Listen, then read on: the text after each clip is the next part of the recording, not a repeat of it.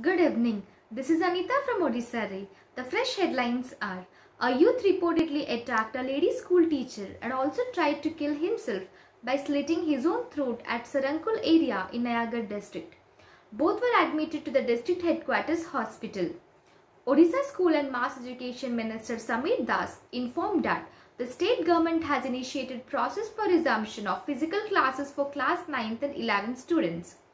Odisha Congress President Niranjan Patnaik informed that the party will observe Bharat Bandh on February 15 if fuel price is not reduced at the earliest.